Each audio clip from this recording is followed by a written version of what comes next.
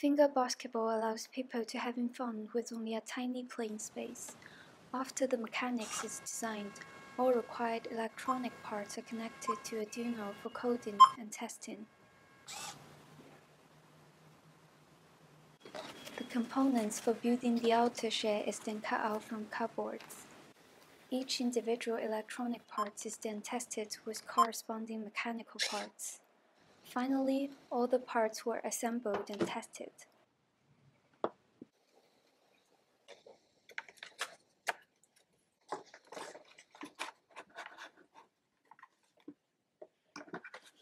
There are three modes in this game. Simply press the mode number to select and press 4 to return selection. When the game starts, balls will be released from the compartment. The player can shoot balls by the ball shooter. The game ends with scores printed on the LCD.